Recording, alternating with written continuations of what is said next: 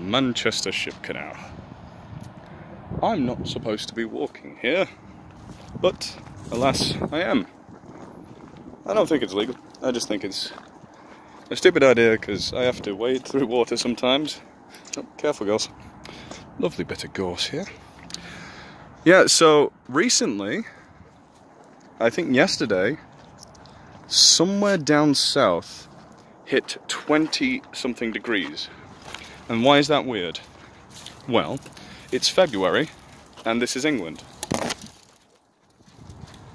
So that's not supposed to happen. That's a big old sign of global warming for you.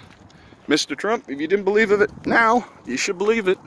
I mean, you didn't believe it back then, believe it now. You stupid son bitch. And anyone else who denies climate change. Wow, look at that beautiful gorse.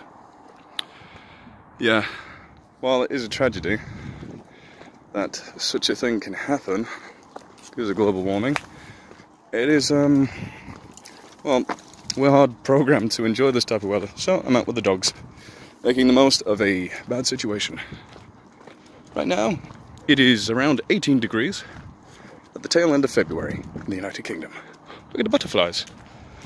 Let's hope we don't get a cold snap again, or else all the animals that came out of hibernation are going to die. Or at least most of them. Right. Shall we say goodbye? Into the water we go.